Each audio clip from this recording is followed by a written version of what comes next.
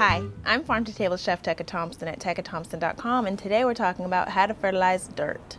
So, dirt, you know, that's basically the start of any garden, and you want to make sure to test your dirt or your soil before you garden. And this is going to allow you to know exactly what is in your dirt as far as uh, organic matter, the pH level, uh, the nitrogen, and then amend the dirt should it need amending. First, you need to get it tested and then follow the recommendations of the lab for amendments. Great ways to amend are compost, of course, uh, balanced soils to add, blood meal, soybean meal, all kinds of great organic amendments you can use depending on how you need to fertilize it.